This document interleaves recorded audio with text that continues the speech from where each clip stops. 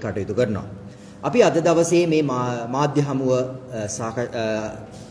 සංවිධානය කරේ කාරණා කීපයක් සම්බන්ධයෙන්. අද මේ වෙනකොට රටේම ජනතාවගේ අවධානය යොමු වෙලා තිබෙනවා 2023 වර්ෂයේ අයවැය සම්බන්ධයෙන්. ඒ වගේම අපි දකිනවා මේ අයවැයේ සියල්ල එසේ ගමන් කරද්දී පෞගිය සතිය අපි දැක්කා මෙරට පොලිසිය මෙරට කාන්තාවන් වෙනුවෙන් මේ රටේ ජනතාවගේ අයිතිවාසිකම් වෙනුවෙන් කොයිතරම් අගතිගාමී ලෙස කටයුතු කරාද කියන කාරණාව. ඒ වගේම අපි දැක්කා මේ රටේ සැබෑ ප්‍රශ්නය කතා කරපු වෘත්තිකයන් සම්බන්ධයෙන් මේ රට පරිපාලනය මේ පාලකයෝ කටයුතු කරන ආකාරය උදාහරණයක් විදියට වෛද්‍ය චමල් සංජීව මහත්මයාගේ වැඩතහනම් කිරීම වගේ සිද්ධීන්. පළමු කොටම මේ රටේ ජනතාවගෙන් අපි ඉල්ලීමක් කරන්න කැමති. අපි අපේ ජීවිතයේ විවිධ දේවල් වෙනුවෙන් කාලය වැය කරනවා. ඒ වගේම අපිට අපේ මේ පෞද්ගලික කාරණා නිසා අපේ ජීවිතවලට ඍජුව බලපාන ගොඩක් දේ අපිට අතපහුව වෙලා තියෙනවා. අපි කියනවා මේ රටේ ජනතාවට පොඩ්ඩක් තමන්ගේ කාලයෙන් තමන් ටෙලි නාට්‍යයක් වෙනත් විනෝද කටයුත්තකට යොදන කාලයෙන් පොඩ්ඩක් මේ රටේ වෙන දේවල් ගැන මේ රටේ සිද්ධ වෙන දේවල් ගැන පොඩ්ඩක් අවධානය යොමු කරන්න. එහිදී අපිට වැදගත් වෙනවා මේ දැනට පාර්ලිමේන්තුව තුල විවාදයට ගැනෙන ඉදිරිපත් වෙලා තියෙන ආයවැය වගේ කාරණා මොකද අපි වෙනදට වඩා ඊටමත් බරපතල ආර්ථික අර්බුදයක ඉන්න රටක්. ඉතින් මේ ආර්ථිකය සමග තමයි මේ රටේ හැම කාණ්ඩයකම හැම මට්ටකමකම ජනතාවගේ ජීවිත ගැට ගැහිලා තියෙන්නේ. ඉතින් මේ අයවැය හරහා ඉදිරි වර්ෂය සඳහා ඉදිරිපත් කරන අයවැය යෝජනාවන් ඒ ව්‍යාපෘතීන් ඍජුවම මේ රටේ කුඩා දරුවගේ ඉඳලා මහල්ලා දක්වා බලපාන නිසා පොඩ්ඩක් මේ පාලකයෝ මොනවද කරන්න කියලා හොයලා බලන්න කියන කාරණාව. අපි දැක්කා පහුගිය වර්ෂයේ මේ රටට ඉදිරිපත් වුණා කපුටු අයවැයක් මේ අවුරුද්දේ අපි දකිනවා මේ රටට ඉදිරිපත් වෙනවා ත්‍රිලෝක අයවැයක්. පහුගිය අවුරුද්දේ නම් බොහෝම අමාරුවෙන් බැසිල් රාජපක්ෂ හිටපු මුදල් ඇමතිවරයා සිංහල භාෂාවට අලුත් වචන එක්කහු කරමින් අයවැය සීනය කියෝලා ඉවර කරා අපි දන්නවා ඒ අයවැය ඉදිරිපත් කරලා මාස 6ක් යන්න හම්බුන්නේ අයවැයත් ඉවරයි රටත් ඉවරයි ඒ ආණ්ඩුවත් ඉවරයි දැන් ජනවරමක් නැති ජනතාව තෝරලා පත් කරලා යපු නැති රනිල් වික්‍රමසිංහ අයවැයක් ගෙනල්ලා තියෙනවා. අපි අයවැයේ යම් සාධනීය කාරණාවන් දකිනවා. හැබැයි ඒ වගේම අපි කියනවා අයවැයක් කියන්නේ හුදු ප්‍රතිපත්ති ප්‍රකාශනයක් හෝ අදහස් දැක්වීමක් නෙමෙයි. රටේ ජනතාව විදිහට අයවැයක් කියන්නේ ඊටමත් ප්‍රායෝගික ලියවිල්ලක්. ප්‍රායෝගික වැඩසැලැස්මක් ක්‍රියාමාර්ග ඒ ක්‍රියාමාර්ග ප්‍රායෝගිකව මහ පොළොවේ පැල කරන විදිය ඒවල ප්‍රතිඵල ලබා ගන්නා විදිය ඒ ක්‍රමවේද ප්‍රායෝගික විය යුතුයි. අපි එහෙම සඳහන් කරන්නේ අපි දකිනවා මේ අයවැය තුල ප්‍රධාන වශයෙන් මේ රටේ ආර්ථිකය ගොඩනැගීම සඳහා රනිල් වික්‍රමසිංහ අලුත් ආර්ථික ක්‍රමවේදයක් හඳුන්වා දෙනවා. ඔහු කියනවා සංවෘත ආර්ථිකය අසමත් වුණා. නිකන් දෙන එක හරියන්නේ නැහැ. ඒක වළක්වන්න 1977 විවෘත ආර්ථිකය ගෙනාවා. විවෘත ආර්ථිකයේ ඒ තරඟකාරී වෙළඳපොළ ඇති වුණාට ඒ වෙළඳපොළ තුල ව්‍යාපාර සඳහා ව්‍යවසායකයා සඳහා නිසි ක්‍රමවේද නිසි වැඩපිළිවෙළල් තිබුණේ නැති නිසා දැන් ඒකත් අසාර්ථකයි කියන කාරණාව. ඒ වෙනුවට මේ අයවැය හරහා රනිල් වික්‍රමසිංහ හඳුන්වා දෙන්න යනවා සමාජ ආරක්ෂණ විවෘත ආර්ථික ක්‍රමයක්. රනිල් වික්‍රමසිංහ ඒ ආර්ථික ක්‍රමය හඳුන්වා දෙමින් අපට ඉදිරිපත් කරනවා ඒ ආර්ථික ක්‍රමය තුල අපනයන මූල්‍ය කරගත් තරඟකාලී ආර්ථිකයක් ඇති කරනවලු පරිසර හිතකාමී හරිත නිල ආර්ථිකයකට යනවලු. ඒ වගේම ඩිජිටල් ආර්ථිකයක් මේ ආර්ථික ක්‍රමය තුල ගොඩනගන්න බලාපොරොත්තු වෙනවලු. බොහොම සුන්දර කතන්දර. බැලූ බැල්මට දොසක් කියන්න බෑ. හරි ලස්සනයි. නමුත් අපි බලමු බොහොම සරල තැනකින් මේවා කොහොමද ප්‍රායෝගික වෙන්නේ කියලා. දැන් පැහැදිලිවම කියනවා මේ ඩිජිටල් ආර්ථිකය. අයවැය පුලහම රනිල් වික්‍රමසිංහ මුදල් ඇමතිවරයා වශයෙන් උත්සාහ කරනවා මේ රටේ තරුණ පරම්පරාව අන්දන්න. ඉතින් මේ ඩිජිටල් කියන වචනය ආපු සැනින් තරුණ පරම්පරාව ආකර්ෂණය වෙනවා. ඩිජිටල් ආර්ථිකයක් ගොඩනගනවලු. හැබැයි අපි අහන්න කැමති පිටු 42ක් වෙන මේ අයවැය ලේඛනය තුල මේ ඩිජිටල් ආර්ථිකය ප්‍රායෝගිකව මහ පොළවේ පැල කරන ක්‍රමවේදය කුමක්ද? ජනතාව විදියට අපි සරල තර්කයකට ගියොත් ඩිජිටල් ආර්ථිකයක් හදන්න නම් ඒ ඩිජිටල් කරණය සුළු පරිමාණ, මධ්‍යම පරිමාණ, මහා පරිමාණයෙන් ක්‍රියාත්මක වෙන්න නම් සත්‍ය වශයෙන්ම ඕන මෙවලම් ඩිජිටල් ආර්ථිකයක් ගැන අපිට කතා කරන්න බෑ. ඒ අදාළ සංඛ්‍යා දත්ත ඒ වගේම මෙවලම් නැතුව. එතකොට අද රට තුර මේ ඩිජිටල් ආර්ථිකය හදන්න ඒ පිළිබඳ දැනුම ලබා ගන්න ශිෂ්‍යයෙක් වේවා පුද්ගලයෙකුට අද කොයිතරම් ඉඩ ප්‍රස්තාව තිබෙනවද? මේ අයවැය තුල නැහැ. ඒ ඩිජිටල් ආර්ථිකය සඳහා යන්න ඕන උපකරණ ටිකට මේ වෙනකොට ගහලා තියෙන බදු ටික අයින් වෙනවද? එහෙම නැත්නම් මේ ටික මේ ඩිජිටල් ආර්ථිකය සඳහා අවශ්‍ය වන උපකරණ සඳහා මේ අයවැය තුල ඉදිරියේදී ඇති ආනයන සම්බාධක වලට මොකද වෙන්නේ කියන කාරණාව පිළිබඳ කිසිම සඳහනක් නැහැ. නමුත් ඔහු අපට සිහිනයක් දෙනවා ඩිජිටල් සිහිනයක්. ඒ ඩිජිටල් සිහිනය මහ පොළොවේ පැල කරන ආකාරය පිළිබඳව මේ අයවැය ලේඛනයේ නැහැ. අපිට මේ අයවැය ලේඛනයේ එක එක එක එක කාරණා පිළිබඳ ගලවලා ගත්තොත් ওই වගේ සිහින තමයි අපිට දකින්න තියෙන්නේ. මේ ආර්ථික ක්‍රමවේදය තුළ රනිල් වික්‍රමසිංහ ආර්ථික ප්‍රතිසංස්කරණයන් ගැන කතා කරනවා. ශ්‍රමය මූලික කරගත් ශ්‍රමය පදනම් කරගත් ශ්‍රමය වැඩි දියුණු කරන ලද ආර්ථිකයක් ගැන රනිල් වික්‍රමසිංහ කතා කරනවා. නමුත් මේ අයවැය තුල අපි බලමු ඒ සඳහා කොහොමද ප්‍රායෝගිකව ප්‍රතිපාදන වෙන් වෙන්නේ කියන කාරණාව. මේ රටේ වෘත්තීය පුහුණුව සඳහා මේ අයවැය ලේඛනය තුල රුපියල්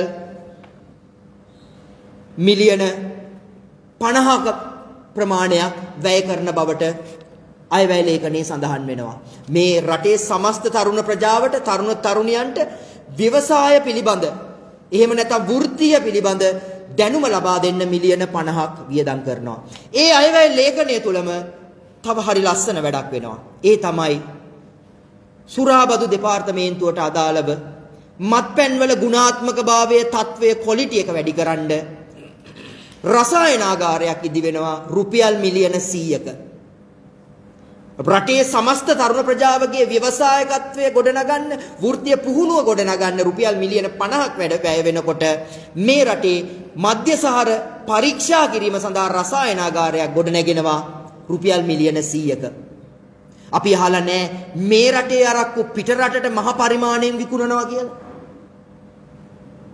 හොඳයි. මධ්‍යසාරවල తත්වය වැඩි වෙන්න ඕන. හැබැයි මතක තියාගන්න ඕන මේ රට තියෙන මේ ආර්ථික අර්බුදය තුල අපේ ප්‍රමුඛතා ලයිස්තුවක් තියෙන්න ඕන. ඒ ප්‍රමුඛතා ලයිස්තුවේ ව්‍යවසාය වෘත්තීය පුහුණුව පහළට යන්නටත් අඩු සැලකිල්ලක් ලැබෙන්නටත් මධ්‍යසාරය සඳහා රසායනාගාරයක් ගොඩනැගෙන්න ඒක ප්‍රමුඛත්වයේ ඉහළට එන්නටත් වැඩි ප්‍රතිපාදන වෙන් වෙන්නටත් මොකක්ද මේ ආර්ථික දර්ශනය මොකක්ද මේ සමාජ ආරක්ෂණ ආර්ථික දර්ශනය ආර්ථික ප්‍රතිපත්තිය කොහෙද ඒ තුලින් සමාජ ආරක්ෂණය ගොඩනැගෙන්නේ කියන කාරණාව අපි විමර්ශ අහන්න කැමති. එතකොට අපි දකිනවා මේ අයවැය තුල කැසිනෝ සම්බන්ධයෙන් බදු ආදායමේ වෙනසක් නැහැ. පැහැදිලි ලෙසම අයවැය ලේඛනය ගත්තම ආණ්ඩුව අර කලින් ගෙනාපු අයවැයේදී කියනවා අපි දැන් ඍජු බදු වැඩි කරගෙන වක්‍රබද්දෙන් ඉවත් වෙන්න ඕන කියලා. නමුත් අද අයවැයේ ඍජුබද්ද වගේ දෙගුණයක් වක්‍රබදු. ඒ වක්‍රබදු එහෙම ගහද්දී අපි දන්නවා මේ රටේ කැසිනෝ ගෘහාශ්‍රිත කර්මාන්තයක් නෙමෙයි. ඒකේ යෙදිලා ඉන්නේ බොහොම අල්ප ධනවත් ව්‍යාපාරිකයින් පිරිසක් විතරයි. කෝ කෝ ඔවුන්ගේ මේ රටේ ආර්ථිකයට ලබා ගන්නා බදු ආදායම. එතකොට මේ සමාජ ආරක්ෂණ ආර්ථික ක්‍රමවේදය තුල කොහොමද කැසිනෝ ව්‍යාපාරය ආරක්ෂා වෙන්නේ වක්‍ර බදු පිට වක්‍ර බදු ගහලා මේ රටේ මිනිස්සු තව තවත් අමාරුවටපත් වෙන්නේ. මොකද වක්‍ර බද්ද ගෙවන්නේ මේ රටේ කම්කරුවගේ ආ මේ රටේ වැඩ කරන ජනතාව තමයි මේ වක්‍ර බදු බහුතරය ගෙවන්නේ.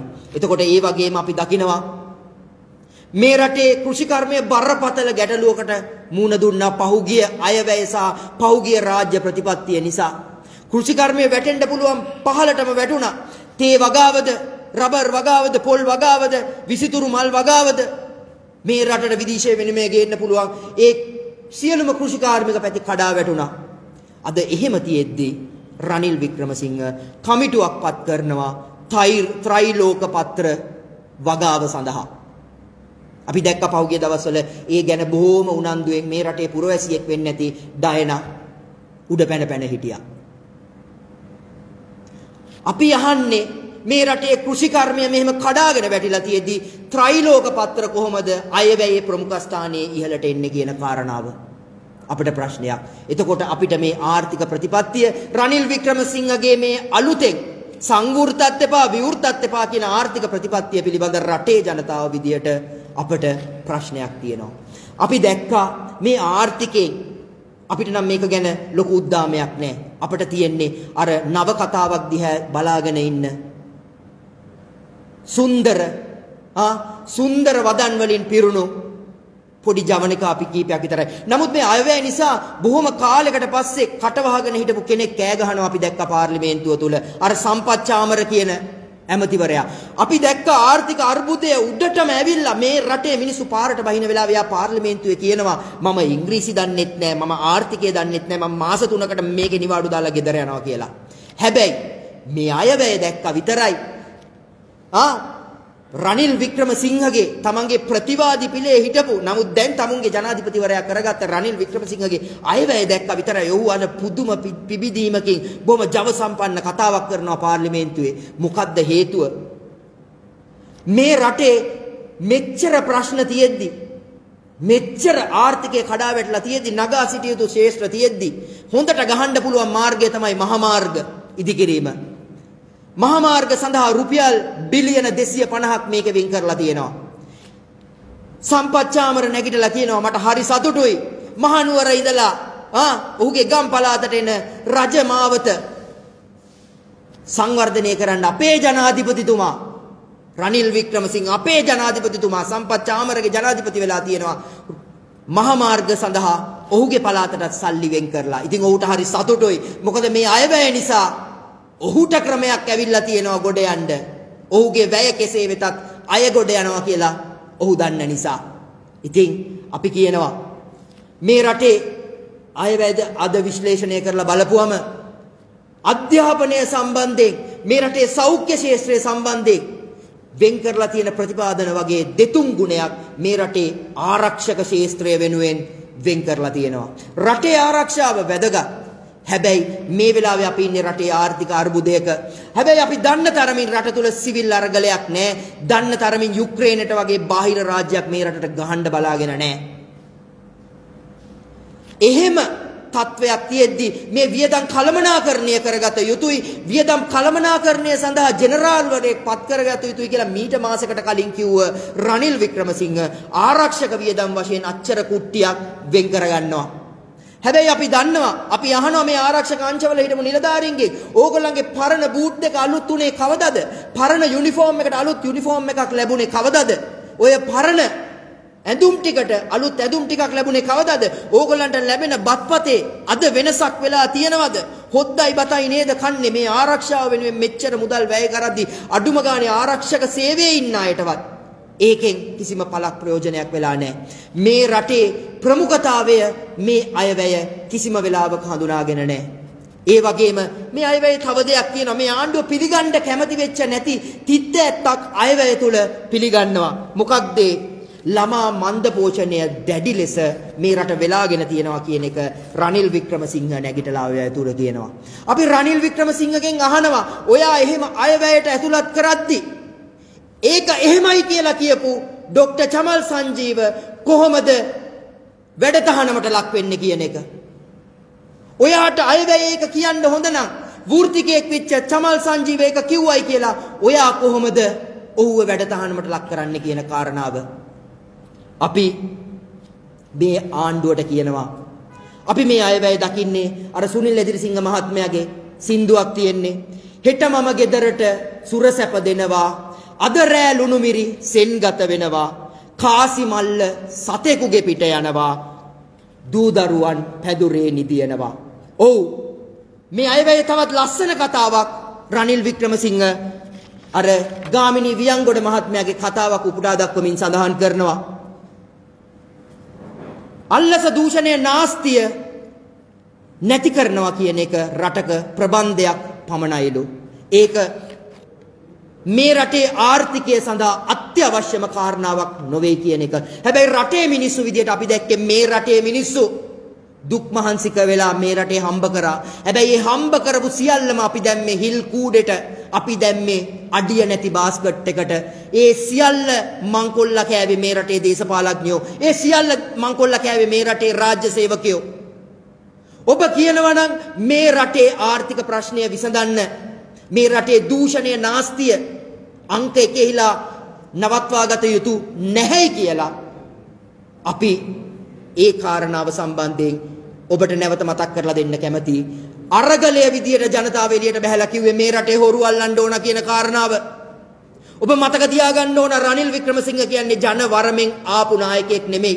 ඔහු ආවේ අරගලේ විකෘති ප්‍රතිඵලයක් විදියට. ඔහුට වගකීමක් තියෙනවා ඒ රටේ තරුණ ජනතාව එළියට බහැලා ඉල්ලපු ඒ ඉල්ලීමට සවන් දෙන්න. ඔබ කියනවා රටේ නාස්තිය දූෂණය වළක්වා ගැනීම මේ රට මේ වෙලාවේ තියෙන ආර්ථික අර්බුදෙන් ගොඩ එන්න අවශ්‍ය නැහැ කියන එක. මොකද අපි ඒක දන්නවා ඔබ ඔහොම කියන්නේ ඔබ හොරුත් ඉඳගෙන එක්ක ඉඳගෙන දීග කන නිසා තුන් දෙනෙක් තියාගෙන පාර්ලිමේන්තුවේ මේ ගමන යන්න බැරි නිසා හොරු එක්ක ඉඳගෙන මේ දීගේ කාගෙන තව අවුරුදු කීපයක් මේ රටේ බලය අල්ලන් ඉන්න ඔබ බලාපොරොත්තුෙන් ඉන්න හින්දා ඔබට කටක් කැරලා කියන්න බෑ මේ රටේ හොරු අල්ලන්න ඕන කියන කාරණාව. ඒක හින්දා අයවැය තුල අපි ඒ දේවල් බලාපොරොත්තු වෙනවා මේ අයවැය තුල යෝජනා තියෙන්න ඕන මේ රට තුල ක්‍රමවේදයක් හැදෙන බවට ඉදිරියේදී නාස්තිය දූෂණය විනාශය වළක්වා ගන්න බවට. නමුත් අපි දකිනවා මේ අයවැය තුල තවත් විශේෂ ලක්ෂණයක්. ඒ තමයි මේ අයවැයේ මං හිතන්නේ අයවැය වැඩි වියදමක් යන්නේ මේ කොමිෂන් සභා ටිකයි කමිටු ටිකයි නඩත්තු කරන්න. මේකේ ගංජා පැලේටත් කමිටුවක් තියෙනවා. මේකේ රසායනාගාරය හදන්නත් කමිටුවක් තියෙනවා. මේකේ හැම දෙයකටම ඡේදෙන් ඡේදයට කමිටු කොමිසම් පත්තු කරලා මේ වලට ගෙවන්න වෙන්නේ රටේ මිනිස්සුන්ගේ සල්ලි. අපි දන්නවා මේ රටේ කමිටු කොමිෂන් කොයි තරම් දුරට මේ රටේ සාධාරණයක් කරාද මේ රටේ සැබෑ ප්‍රශ්නය කතා කරාද කියන කාරණාව. ඉතින් අපි රනිල් වික්‍රමසිංහට කියනවා ඔයා තාම පාඩමක් ඉගෙනගෙන නැහැ. ඔයා මේ හොරුත් එක්ක එක්කහුව වෙලා නිකන් සාහිත්‍ය ප්‍රබන්ධයක් වගේ අයවැයක් ගෙනල්ලා මේ රටේ මිනිස්සුන් අන්දණ්ඩයි උත්සාහ කරන්නේ. නමුත් මේ අයවැය තුල තියෙන්නේ අපේ රටේ මිනිස්සුන්ගේ අනාගතය. මේ රටේ මිනිස්සුන්ගේ බලාපොරොත්තු. අද ඕගොල්ලෝ කාලය විනංගු කරන්නේ මේ රටේ විරෝධතාවයක් වෙනුවෙන් එළියට බහින අහිංසක කාන්තාවන් මර්ධනය කරන්න. අද කාලය විඩංගු කරන්නේ ඕගොල්ලෝ මේ රටේ හොරුන්ව ආරක්ෂා කරන්න හොරුන්ට සුජාතක භාවය දෙන්න හොරුන්ගේ නඩු ටික නැති කරන්න හොරුන්ට හොඳ නාම දීලා සමාජයට දාන්න හොරුන්ව ඡන්දයට සූදානම් කරන්න. නමුත් මේ රටේ සැබෑ ප්‍රශ්නයට එළියට බැහැපු මේ රටේ ජනතාවට ඔබ සැලකුවේ ඉතාමත් නින්දිත විදියට. මහා ප්‍රජාතන්ත්‍රවාදියා කියන ඔබ පහුගිය දවස්වල මේ සිරිදම්ම හාමුදුරුවෝ සහ වසන්ත මුදලිගේ වෙනුවෙන් කතා කරන්න එළියට බැහැපු ඒ අම්මාවරුන්ට සැලකුවේ සමස්ත කාන්තා ප්‍රජාවට සැලකුවේ මහා නින්දිත විදියට. අද අපි දැක්කා ඒ පොලිස් නිලධාරියා අර කාන්තාවන්ගේ බෙල්ලෙන් අල්ලපු පොලිස් නිලධාරියා කියලා තියෙනවා ඒ කාන්තා නිලධාරීන්ගේ බෙල්ලෙන් ඇල්ලුවේ ඒගොල්ලන්ව උනන්දු කරන්න කියලා. අපි එතකොට අහනවා ඕගොල්ලන්ට සේවාව තුල හිටපු කාන්තා නිලධාරීන්ට අයුතු බලපෑම් කරේ ආ ලිංගික හිංසාවක් නැති කරේ ඔය ඉන්න නිලධාරීන් මොකක් උනන්දු කරන්නද කියන කාරණාව. නිකම් බොරුවට අර ගහට නැගපු මිනිහට තනකොළ කපණ්ඩයි නැග්ගේ කියනා වගේ ගොන් කතා කියන්න එපා. මොකද මේ රටේ මිනිස්සු අහන්න සූදානම් නැහැ. මේ රටේ මිනිස්සු ඕවා අහගෙන ඉන්න සූදානම් නැහැ. අපි කියනවා මේ රටේ පොලිසිය බාර ඇමතිවරයාට තමුන් ජනවරමෙන් ආපු මිනිස්සෙක් නෙමෙයි. තමුන්ට අයිතියක් නැහැ මේ රටේ පොලිසිය ওই විදිහට තමුන්ගේ වහල් සේවයේ දඩාවතේ යන සත්තු වගේ හසුරවන්න.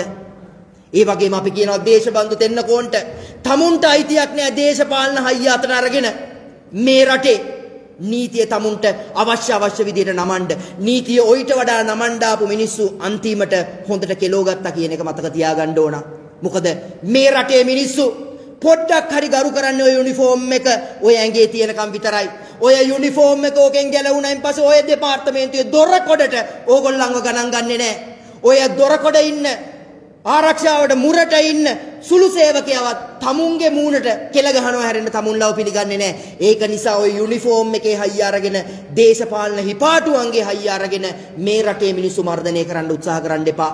මොකද අපි මර්ධනයට බය නැහැ. අරගලයට එළියට බහැපු අපි මර්ධනයට බය නැහැ. මර්ධනය කියන්නේ අරගලය තවත් මෝහත් කරන දෙයක් කියන එක අපි මතක් කරන්න කැමති. ඒ හින්දා අපි මේ රටේ ජනතාවට කියනවා මේ ප්‍රශ්න සම්බන්ධයෙන් අපි සවිඥානික වෙන්න ඕන.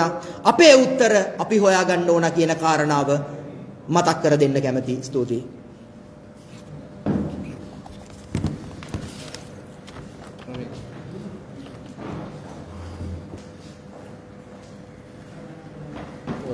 වයිට් ෂොට් එක ගත්තේ නැතුනේ.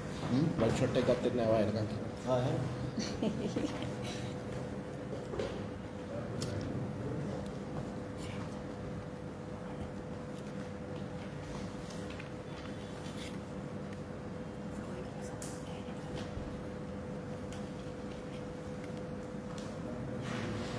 මම ජයනි අබේසේකර මානව හිමිකම් ක්‍රියාකාරිනියක් මගේ අවධානය යොමු වෙන්නේ විශේෂයෙන් පසුගිය දින කිහිපය ඇතුලේ අපි රටක් හැටියට අත්විඳ තත්වයක් එහෙම නැත්නම් මේ පොලිස් ප්‍රචණ්ඩත්වය පිළිබඳව කාරණාව කෙරෙහි. අපි දන්නවා මම හිතන්නේ මම නැවත පැහැදිලි කළ යුතු නැහැ අරගලයේ වෙනුවෙන් අරගලයේ මව්වරු හැටියට පානදුරේ ඉඳන් කළුතරේ ඉඳලා ගෝල් ෆේස් දක්වා ගියපු කාන්තාවන් දෙදෙනෙක්ට අතරමඟ නතර කරලා ඒ ඔවුන් සාමකාමී විරෝධතාවයක නිරත වුණේ පාගමනක නිරත වුණේ එතකොට ඒ ගමන අතරමඟ නතර කරලා ඔවුන්ට හිරිහැර කරලා ඔවුන් අත්අඩංගුවට අරගෙන පොලිසිය කටයුතු කරපු ආකාරය අපි දැක්කා. ඒකේ විශේෂම සිදුවීම තමයි අපි දකිනවා මේ පොලිස් කාන්තාවන් දෙදෙනෙක්ට තමන්ගේ එහෙම නැත්නම් තමන්ගේ පිරිමි ජේෂ්ඨ පිරිමි පොලිස් පොලිස් පොලිසිය පොලිස් පොලිසියේ ස්ථානාධිපතිවරයා එහෙම නැත්නම් පානදුර දකුණ HQI පොලිස් පරීක්ෂකවරයා හැටියට කටයුතු කරන චාමින්ද පින්ටෝ ඔහු කොහොමද තමන්ගේ කනිෂ්ඨ කාන්තා පොලිස් නිලධාරිනියන් දෙදෙනෙක්ගේ බෙල්ලෙන් තල්ලු කරලා උනන්දු කරන ආකාරය අපි දැක්කා. එතකොට මේ සිදුවීම මං හිතන්නේ එක ආකාරයකට ලංකාවේ පහුගිය කාලය පුරා පොලිසිය මේ රටේ දියත් කරපු ප්‍රචණ්ඩත්වය ඉතාම හොඳින් ලෝකයට පෙන්නන ඡායාරූප වීඩියෝ පට මේ වෙනකොටත් මුළු රටේම ලෝකෙම සංසරණය වෙනවා. මේක ඉතාම හොඳ උදාහරණයක්, ඉතාම ආසන් උදාහරණයක්. ලංකාවේ පොලිසියේ තියෙන නින්දිතභාවය කැතකම පෙන්නන එක ආසන් උදාහරණයක්. මේකේ විශේෂම නැත්තම් වැදගත්ම දේ තමයි මේ වෙනකම් මේ පොලිස් නිලධාරියට කිසිදු ආකාරයේ වැඩ තහනම් වීමකට ලක් වෙලා නැහැ. හැබැයි ඔහු සම්බන්ධව පරීක්ෂණ සිදු වෙන බව කියලා තියෙනවා සහ විමර්ශන සිදු වෙමින් තියෙනවා. හැබැයි මේ විමර්ශන කිරීම මූලිකවම බාර වුණේ පානදුර පොලිසියටමයි. එළියෙන් ආපු සමාජ විරෝධය නිසා තමයි මේ විමර්ශන නැවත විමර්ශන මේ පොලිස් අපරාධ විමර්ශන ඒකකයේ විසින් කරන්න කටයුතු කරේ බාර දුන්නේ. ඊට පස්සේ දැන් අද වෙනකොට දකින්න තියෙන නැත්නම් ලැබෙන ආරංචි අනුව සහ මාධ්‍ය වාර්තා අනුවත් පළවෙන දේවල් දැක්කමත් ලැබෙන ආරංචි අනුවත් මේ සම්බන්ධව වන විමර්ශනවලදී මේ කාන්තාවන් පොලිස් කාන්තාවන් දෙදෙනා මොනවද කියලා තියෙන්නේ කියන එකේදී ඔවුන් කියනවා බෙල්ලෙන් අල්ලලා තල්ලු කිරීම පිළිබඳව Tamanට එවැනි ඒන් වේදනාවක් දැනුනේ නැහැ. Tamanට ඒක ගැටලුවක් නැහැ. ඒ වගේම ඔවුන් කියලා තියෙනවා විශේෂයෙන් මේ සිදුවීම අතරතුරදී Tamanගේ පිටිපස්සෙන් ඇවිල්ලා තල්ලු කරනවා වගේ හැඟීමක් දැනුණත් පිටිපස්ස හැරිලා බලනකොට එතන මේ කියන HQI මහත්තයා නැත්නම් පින්ඩෝ මහත්තයා හිටියේ නෑ කියලා.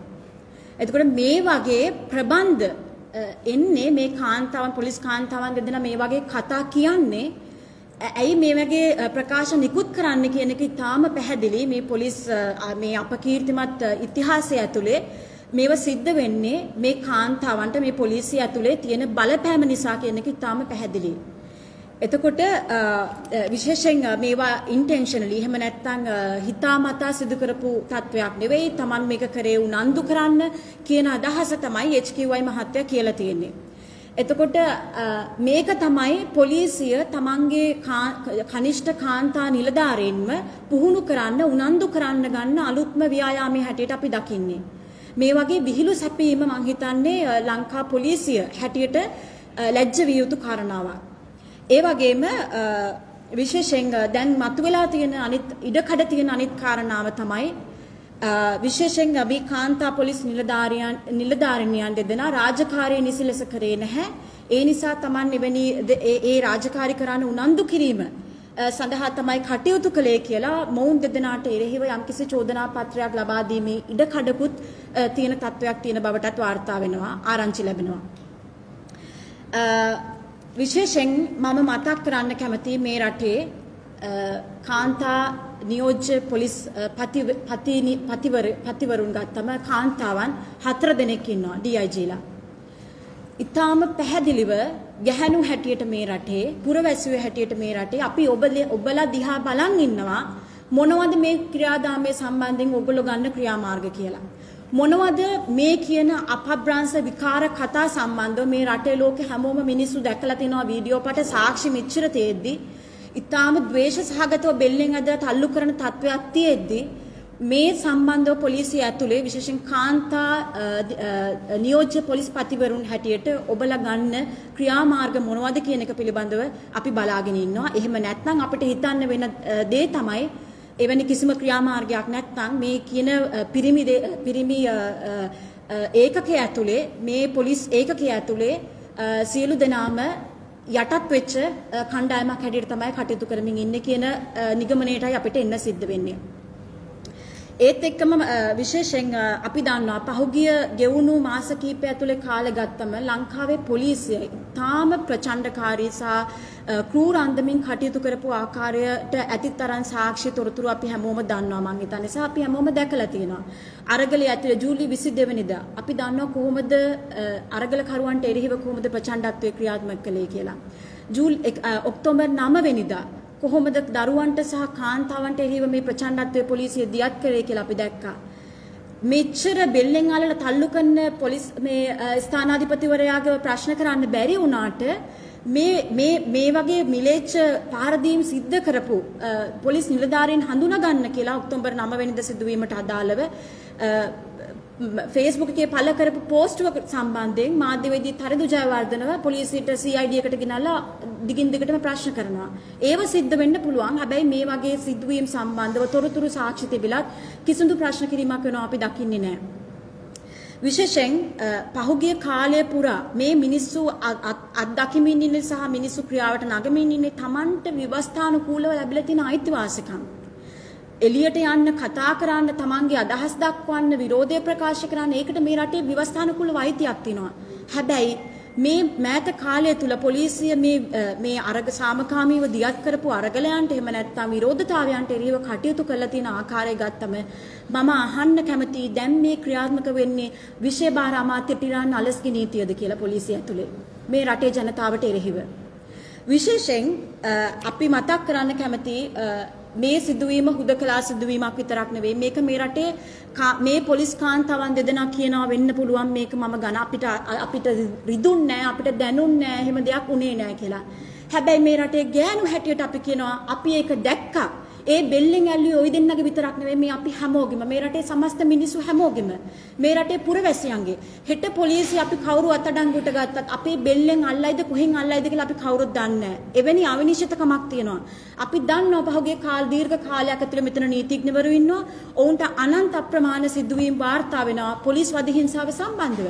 විශේෂයෙන් අපි දන්නවා PTA එක යටතේ මෙතන ත්‍රස්තවාදයේ වැළැක්වීම පනත කිනකද සාපයක් වෙලා තියෙනවා. අපි දන්නවා දීර්ඝ කාලයක් උත්තරේ අවුරුදු ගාන- ගණනාවක් තිස්සේ අදටත් දමිළ කලාකරුවෙක් අවුරුදු 14ක් තිස්සේ ත්‍රස්තවාදයේ වැළැක්වීම පනත යටතේ අත්අඩංගුවේ ඉන්නවා රඳවගෙන ඉන්නවා. වසන්ත ඒ වගේම සිරිදම් සිරිදම්ම හිමි ගත්තම ඔවුන් දෙදෙනාම සම්බන්ධවත් මං හිතන්නේ අද අපිට අත්දකින්න වෙලා තියෙන අර දීර්ඝ කාලයක් උතුරේ මිනිස්සු අත්දැක්ක ඒ ඒ ක්‍රියාදාමයේ එක කොටසක් විතරයි.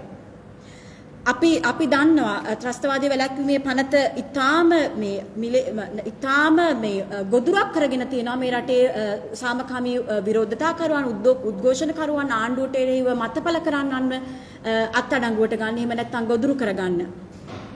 විශේෂයෙන් ත්‍රස්තවාදී වැළැක්වීමේ පනත යටතේ 127 දෙනෙක් මේ වෙනකොටත් අත්අඩංගුව ඉන්න බවට තොරතුරු තියෙනවා. අමතක කරන්න එපා ආණ්ඩුව මතක තියාගත යුතුයි GSP+ සහනය.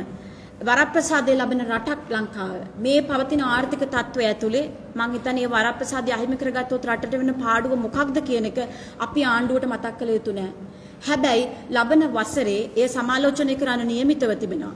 විශේෂයෙන් ලංකාවේ මානව හිමිකම් තත්ත්වය පිළිබඳව මේ වගේ සිදුවීම් පිළිබඳව පොලිස් අපරාධ පිළිබඳව නැවත සාකච්ඡාවට ගැනෙන විමර්ශනය කරන්න තොරතුරු විමසන්න මානව හිමිකම් ක්‍රියාකරුවන් හැටියට ඒව සම්බන්ධව තොරතුරු ඉදිරිපත් කරන්න අපි කටයුතු කරනවා.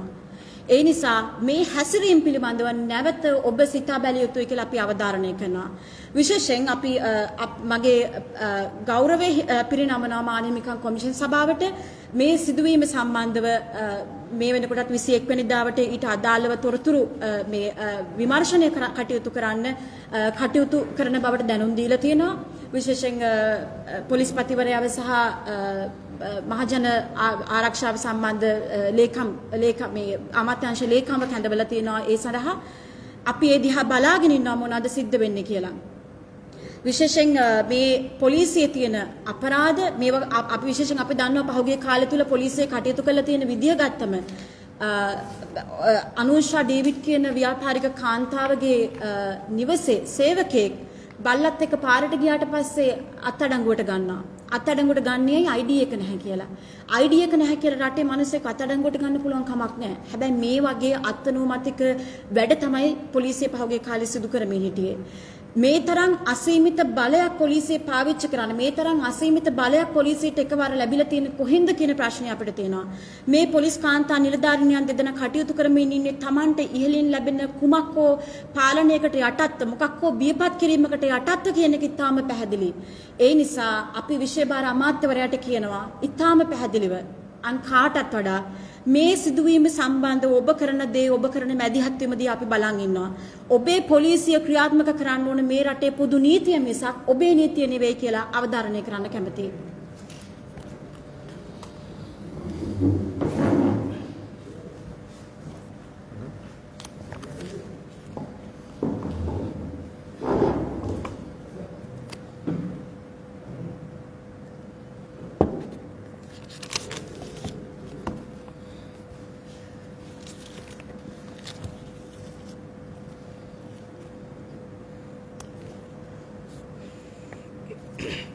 හොඳයි සුබ සන්ධ්‍යාවක් කියලා ප්‍රාර්ථනා කරන ඔබ සියලු දෙනාටම මම නීතිඥ මනෝජ් නානයක්කාර People's Tomorrow සංවිධානයේ කැඳවුම්කරු. අපි අද මේ මාධ්‍ය සාකච්ඡාව පවත්වන මොහොත වන විටත් අපේ රටේ ආර්ථිකය පිළිබඳ බරපතල තැනකට අපි පත් වෙලා තියෙනවා. මේ සමස්ත ආර්ථිකයේ කඩාවැටීම කියන කාරණය නිසා මේ රටේ සෑම ක්ෂේත්‍රයක්ම කඩාවැටීමකට බරපතල නායයාමකට ලක් වෙලා තියෙනවා. එහෙම තියෙනකොට තමයි රනිල් වික්‍රමසිංහ ජනාධිපතිවරයා මුදල් අමාත්‍යවරයා හැටියට අයවැය වාර්තාව ඉදිරිපත් කිරීම සිද්ධ කරන්නේ. එතකොට මේ අයවැය වාර්තාව ඉදිරිපත් කිරීම සිද්ධ වෙන අවස්ථාවේ අපේ රට තියෙන තැන ගැන සැබෑ අවබෝධයක් සැබෑ දැක්මක් මේ රජය හෝ ජනාධිපතිවරයා සතුව තිබුණාද කියන කාරණය දැන් දැන් ගැඹුරින් මේ රට තුළ සාකච්ඡාවට භාජනයෙන් පවතිනවා. දැන් හිටපු මහබැංකු අධිපතිවරයා අලුමතින් නැකිටින්න උත්සාහ කරමින් ඇවිල්ලා ජනමාධ්‍ය තුළ නැවත ලැජ්ජාවක් නැතුව හිරිකිතයක් නැතුව කිසිම වරදකාරී හැඟීමකින් තොරව එළියට බැහැලා දැන් එයා රඟන්න පටන් අරගෙන තියෙනවා. එයා කියනවා එයාගේ කාලේ තමයිලු හොඳටම කරේ.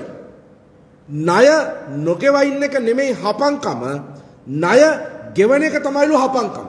ඔව්. අපි දැක්ක එයාගේ හපංකමේ මහත. අපි අත්දැක්කා එයාගේ හපංකමේ තරම. මේ රටේ තිබිච්ච අන්තිම ඩොලරය දක්වා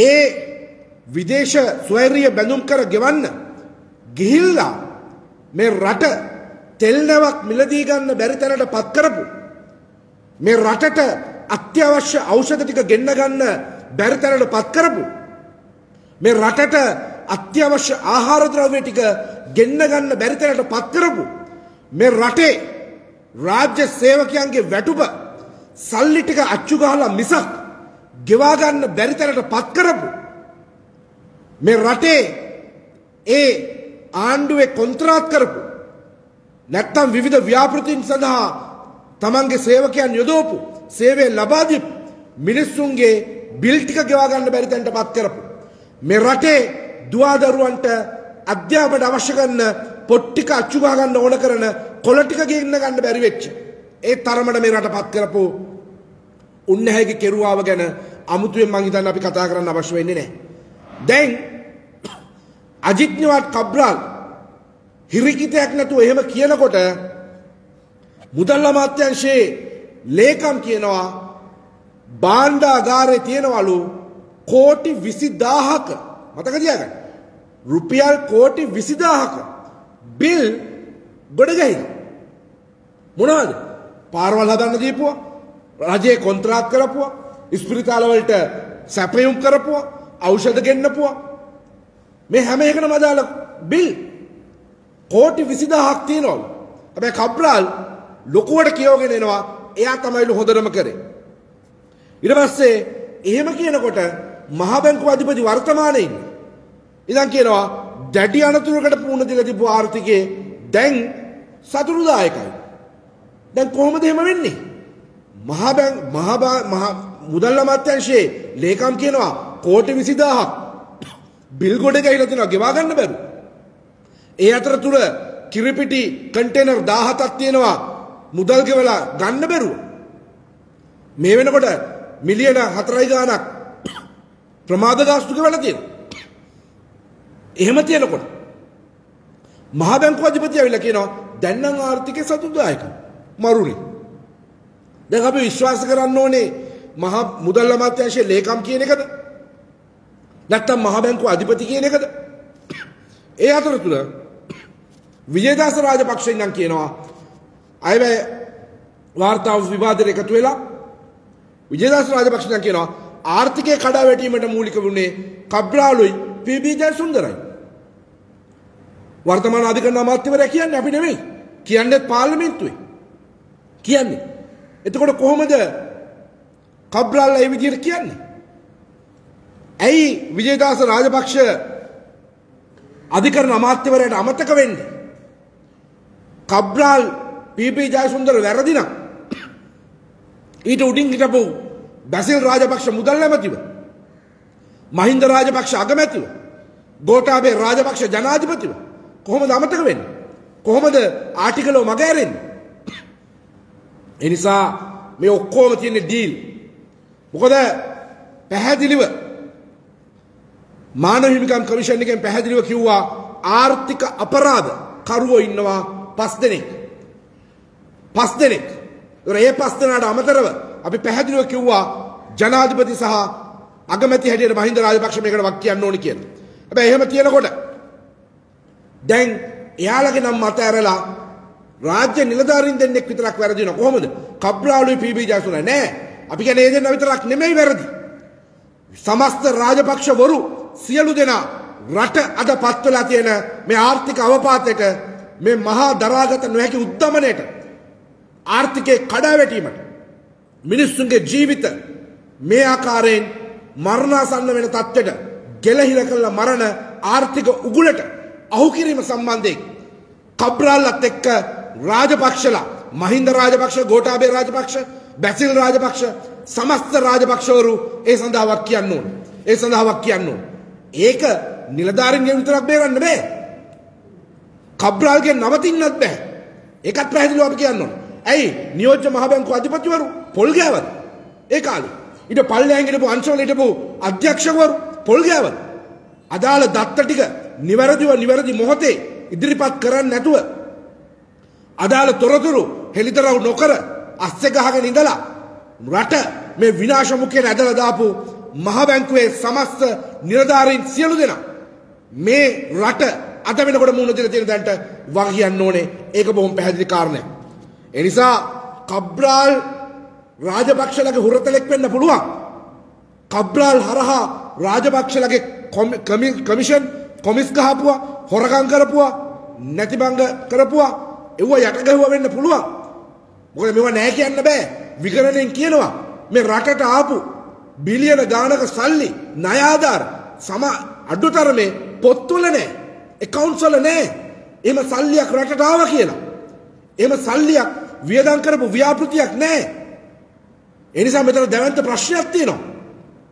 ඒ නිසා මේ හොර නඩේ රාජපක්ෂ නඩේ එක කීකරු සුරතලෙක් විතරයි අජිත් නිවාඩ් කබ්‍රාල් කියලා කියන්නේ. ඒත් එක්කම දැන් එහෙම කියනකොට දැන් මහින්ද රාජපක්ෂලට මේ සාපයෙන් ගැලවෙන්න බෑ. ඇයි එහෙම කියන්නේ? රංජිත් සියඹලාපිටිය වර්තමාන මුදල් රාජ්‍ය අමාත්‍යවරයා පාර්ලිමේන්තුවේ කියනවා ඊයේ පවුල් ලක්ෂ 34ක් පවුල් ලක්ෂ 34ක් ජීවත් වෙන්න සහනාධාර අය දෙනවා කියලා. ගැන අපි දැක්ක පහුගිය කාලේ ඔක්කොම ටික මේවා කරලා ඇප්ලිකේෂන් දාන්න කියලා කිව්වා. සමෘද්ධි දෙන්න, වැඩිහිටි දීමනාව දෙන්න දාන්න කිව්වා. දැන් ඒක සර්වේ කරලා තියෙනවා, ගණනය කරලා තියෙනවා පවුල් ලක්ෂ 34ක් මේ රටෙන් සහනාධාර අය දිනවා. ඒතර අපි අහනවා පහුගිය අවුරුදු 20 30 ගාන මේ රට පාලනය කරේ කවුද? මේ රට පාලනය කරේ කවුද? ඒතර ඒ අය වග කියන්න ඕනේ නැද්ද? මේකේ ලස්සනම තව කෑල්ලකුත් තියෙනවා. මොකද්ද? රාජ්‍ය අමාත්‍යවරයා කියනවා දකුණු පළාතේ දකුණු පළාතේ රාජපක්ෂලගේ බලකොටුව රාජපක්ෂලගේ බලකොටුව ඒ බලකොටුවේ දකුණු පළාතේ ජනතාවගෙන් 160ක් පොඩි නෑ 160ක් ආධාර ඉල්ලලා තියනවා කියලා. ආධාර ඉල්ලලා තියනවා කියලා. සෙල්ලම්ද? තමන්ගේ පළාත දියුණු කරගන්න බැරි තමන්ගේ පළාත සංවර්ධනය කරපු නැති තමන්ගේ පලාතේ හිටපු ජනතාවගේ ජීවන තත්ත්වය නගා හිටවපු නැති ඒ මජර කාලකන්නි රාජපක්ෂවරු ටික නැවත හදනවා අලුමතින් නැගිටින්න. අලුමතින් නැගිටින්න. රටකට නගන්නේ කොහොමද? තමන්ගේ පලාතට සාධාරණයක් කළා නැහැ. පලාතට සාධාරණයක් කළා නැහැ. 60ක් මිනිස්සු ආධාර ඉල්ලනවා ජීවත් වෙන්න. අතපානවා ජීවත් වෙන්න. රටෙන් උදව් ඉල්ලනවා පිළිසරණය පතනවා. ආණ්ඩුවේ එහෙම තියෙනකොට තමයි මේ එහෙම තියෙනකොට තමයි මේ වර්තමාන ජනාධිපතිවරයා අයවැය වාර්තාවක් ඉදිරිපත් කරන්නේ. මතක තියාගන්න. ඊට කලින් මහින්ද රාජපක්ෂ ජනාධිපතිවරයා හැටියට ඉන්නකොට ආසන්න අවුරුදු 10ක අයවැය වාර්තාව ඒ රාජපක්ෂ රජයේ අයවැය වාර්තාව.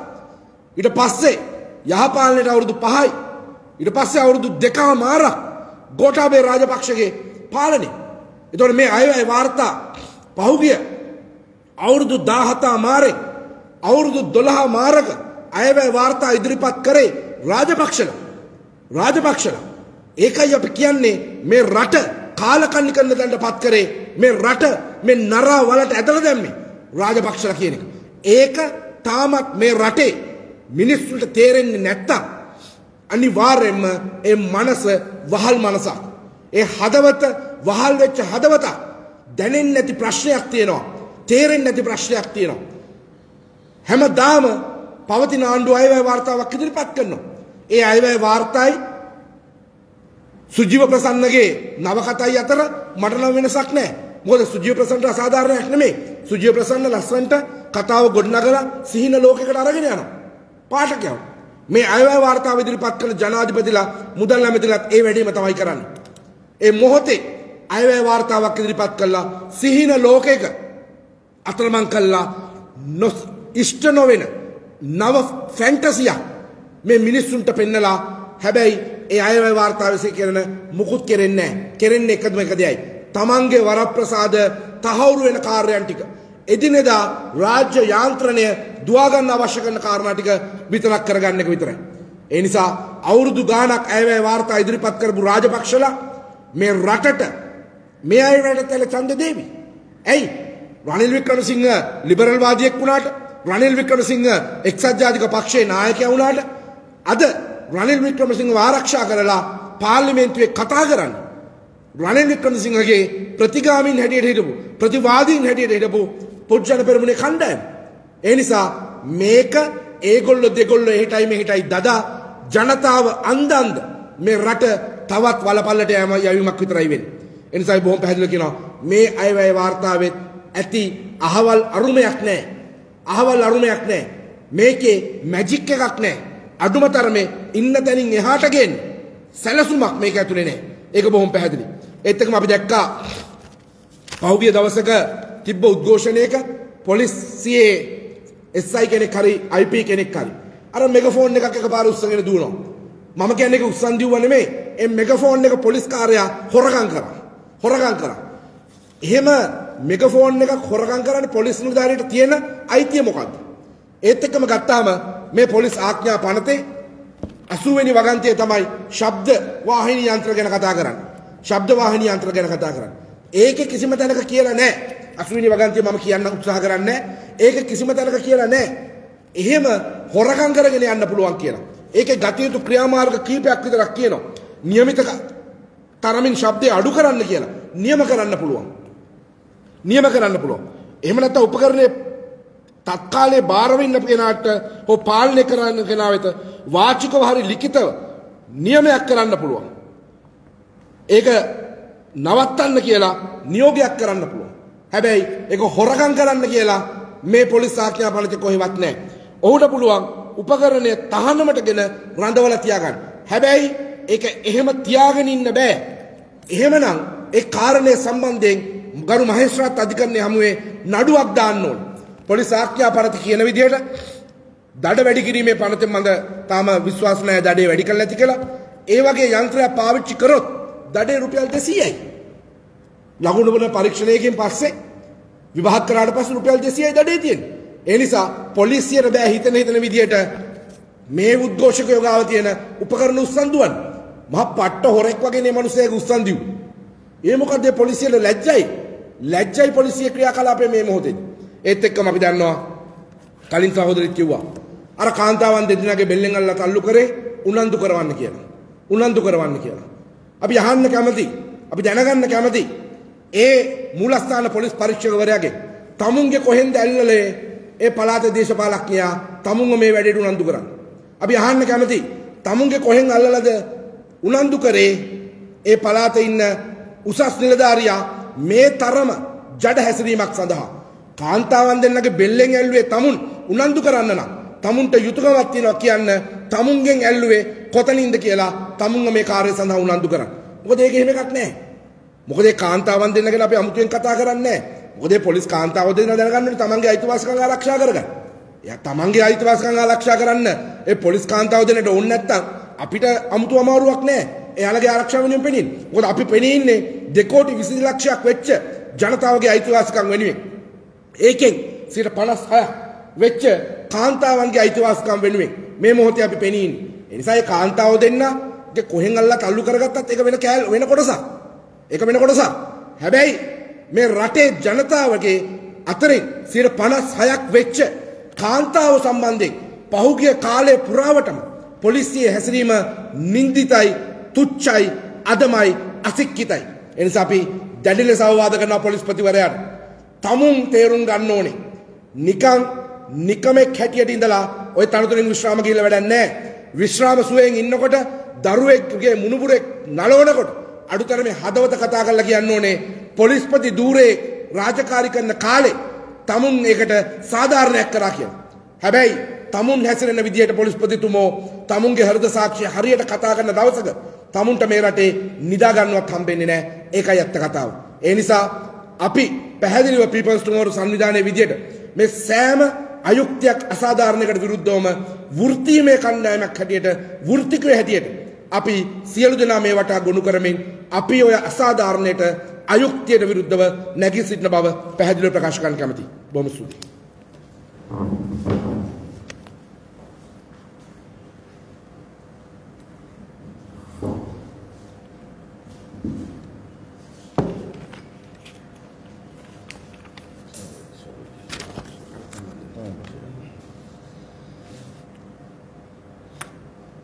මං හිතන්නේ ජනතාවගේ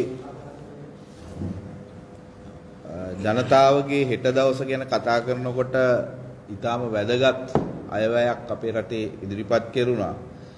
77 වෙනි අයවැය මං හිතන්නේ අපේ රට අපේ රටේ මිනිස්සු සුඛිත මුදිත තත්වයට පත් කරපු දවසින් දවස අ, 77 වෙනි අයවැය තමයි අ, ඉදිරිපත් වුණේ. ඉදිරිපත් කරේ මේ රටේ මං හිතන්නේ වය වෘද්ධම ඒ වගේම අ, වයස සහ දේශපාලන වයස ගත්තාම වැඩිම පුද්ගලයා නමුත් මුදල් ඇමති කෙනෙක් විදිහට මං හිතන්නේ පළවෙනි වතාවට තමයි අයවැයක් ඉදිරිපත් කරේ. ඒක කුළුඳුල් අයවැයක් එහෙම නැත්නම් ඒකේ අර අපි කියන ඉම්මැචුරිටි එක එහෙම නැත්නම් මෝරපු නැති ගතිය අයවැය පුරාවට අපි දැක්කා. විශේෂයෙන්ම ඒකේ කතා ගොඩක් තිබ්බා. අයවැය කියන්නේම ලංකාවේ මිනිසුන්ට සුරංගනා කතා ගොඩක් තමයි. නමුත් මේ අයවැයි විශාල වශයෙන් තිබ්බේ කතාන්දර. ඒතර මේ කතාන්දර වලට සමහර ඒවට පදනමක් නැහැ. අයවැය කියලා ඉවරුනාට පස්සේ අපිට බොහෝ තැන්වල ඉතුරු වුණේ අර ත්‍රිලෝක විජය පත්‍ර එහෙම නැත්නම් ගංජා කතා බහ තමයි. එතකොට මේක නිකන් අර සුරංගනා ලෝකයක අපිව පා කරන අයවැයක් වගේම මේ වෙලාවේ සෞඛ්‍ය සේවාවේ අර්බුදයට අයවැයෙන් මොනවද දීලා තියෙන උත්තර කියලා අපි හෙව්වහම අපිට පේන්න තියෙන්නේ අර තිබිච්ච ප්‍රතිපාදනයවත් ලබා නොදෙන තත්ත්වයක්. රනිල් වික්‍රමසිංහ ජනාධිපතිවරයා අගමැති විදියට ඉන්නකොට ඉතා පැහැදිලි පොරොන්දුවක් දුන්නා ඒ කාලේ සෞඛ්‍ය සේවාවට ලබා දෙන ප්‍රතිපාදන කප්පාදු කරන්නේ නැහැ. හැබැයි මේ වෙනකොට සෞඛ්‍ය සේවාවේ ප්‍රතිපාදනත් කප්පාදු වෙලා සේවාවත් කප්පාදු වෙලා. ඒ අතර රටේ මේ තියෙන අකර්මණ්‍යතාවය, අකාර්යක්ෂමතාවය, පාලනයේ තියෙන ඊටාම අඩුපාඩු රැසක් එක්ක සෞඛ්‍ය සේවාව ඇතුලේ ගසා කන තත්වයට පත් වෙලා තියෙනවා. දැන් අපිට මේ වෙනකොට වාර්තා වෙනවා එක පැත්තකින් අයවැයේදී ත්‍රිලෝක විජයපත්‍ර එහෙම නැත්නම් ගංජා එක්ක මත් වෙන්න පුළුවන් සිස්ටම් එකක් හදන බව. ඊළඟට අපි හොයාගෙන ගියාම සෞඛ්‍ය අමාත්‍යාංශය පැත්තෙන් අපි හෙළිදරව් කළ යුතුම කාරණාවක් තියෙනවා මේ වෙලාවේ මත්වීම සඳහා පාවිච්චි කරන වැරදි විදිහට පාවිච්චි කරන විශේෂයෙන්ම ඊටාම තද නීති රීති යටතේ අලවි කරන්න අනුමැතිය දීලා තියෙන වෛද්‍යවරයෙක් නිර්දේශ කරත් සොයා බැලීමකින් තොරව ලබා දෙන්න තහනම් කරලා තියෙන ඖෂධ වර්ග 8ක් ඊටාම වේගෙන් නිෂ්පාදනය කරන්න අනුමැතිය දීලා තියෙනවා ඖෂධ නියාමන අධිකාරිය සහ සෞඛ්‍ය අමාත්‍යාංශය.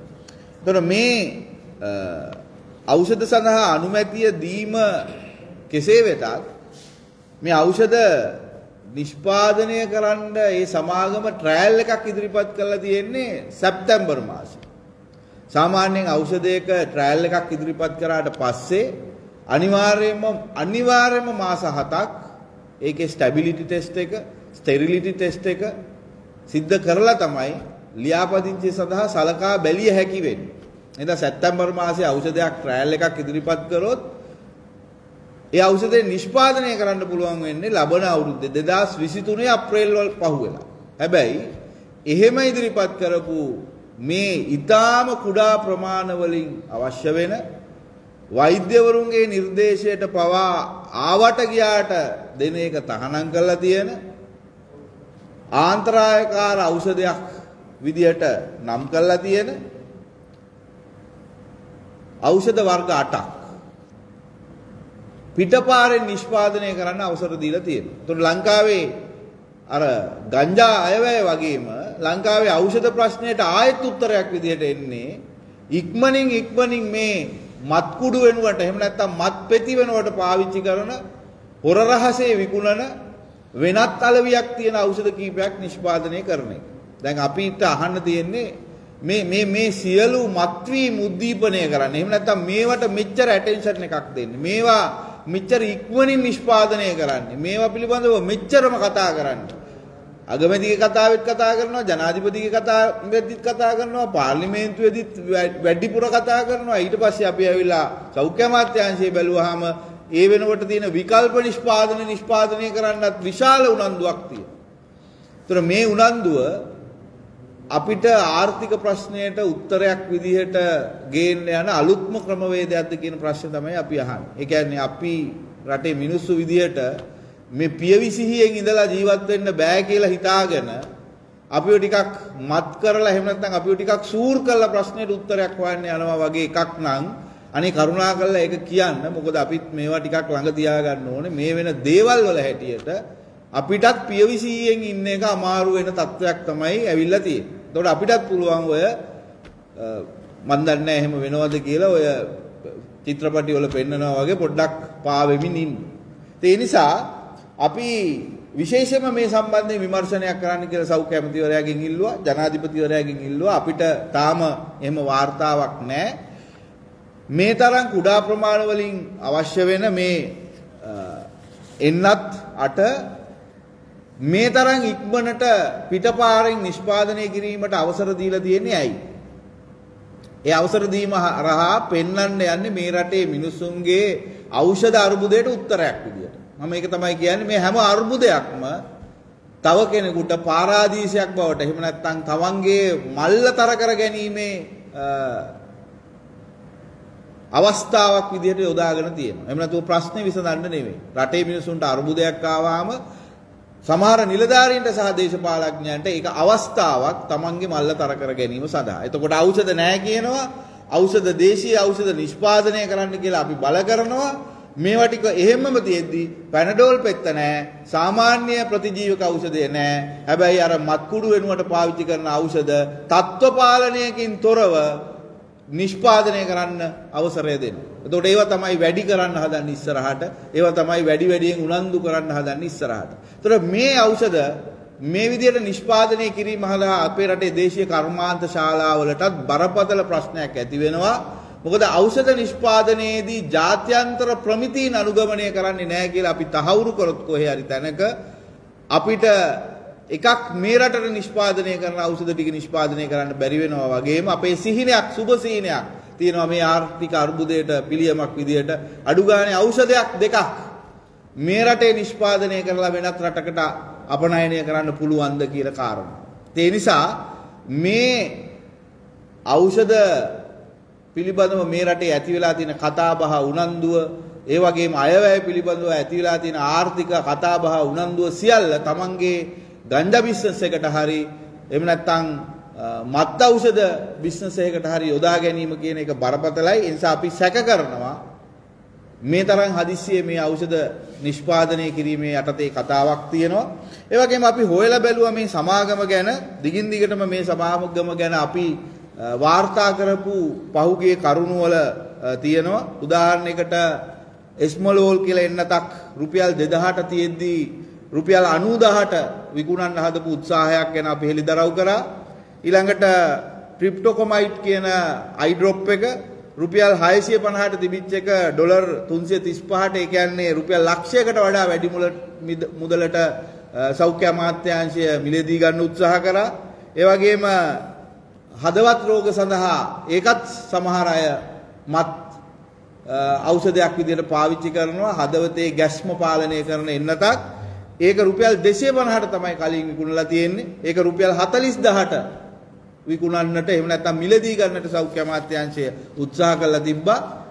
මේ අර හිටි හැටියේ අර එන්නත් අට සාමාන්‍ය ක්‍රමවේදයෙන් පරිබාහිරව ගිහිල්ලා තත්ත්ව පාලනය නැතුව නිෂ්පාදනය කරන්න ඉඩ දීපු සමාගමම තමයි අර කියන අසීමාන්තික එහෙම නැත්නම් විශ්වාස කරන්න බැරි ඇදහිය නොහැකි මිල ගණන් වලට ඖෂධ නිෂ්පාදනයට උත්සාහ කරන්නේ. ඒතර මේක තමයි අපේ මත් අයවැයයි මත් ලෝකයයි අතර ඖෂධ පිළිබඳව තියෙන සම්බන්ධය. ඊළඟට අපි දැක්කා රනිල් වික්‍රමසිංහ ජනාධිපතිවරයා අයවැය කතාවේදී ගෙවන වාට්ටු සම්බන්ධයෙන්ුත් කතා කරනවා.